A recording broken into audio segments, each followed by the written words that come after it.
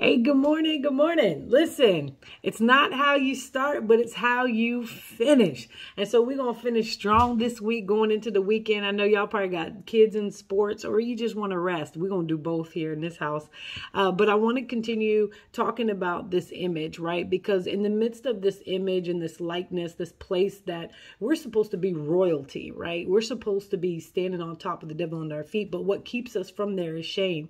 And shame, I want to bring that definition definition again is the emotion caused by consciousness of guilt, right? A shortcoming, a failure, something that we did wrong. Um, when guilt, you know, that failure, that uh, humiliation that happened, that disgrace, right? That condition of mindset, when it's left unintended, when we don't deal with that, and and we stay there to reason within ourselves or we internalize what happened to us and it becomes us right? That's when it turns into shame. And when we go back to the beginning because you always got to go back to the beginning right? Wisdom is the principal thing. Adam and eve think about it. They did something that they were not supposed to do.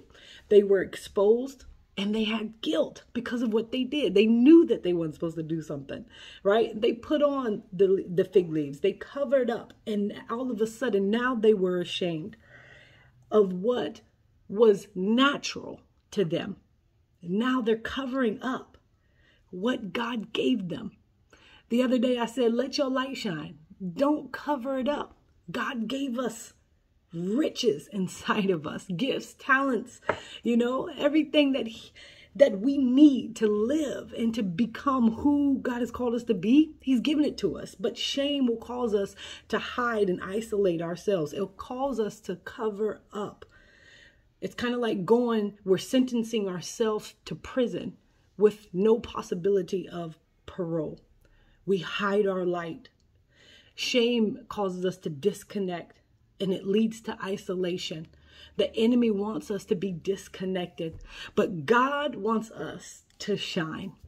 So don't allow the shame to put you in a jail cell with no possibility of parole. Shine your light. Know who you are. You are loved by God and you are chosen. You are holy and you are without blame. God bless you and have a wonderful weekend.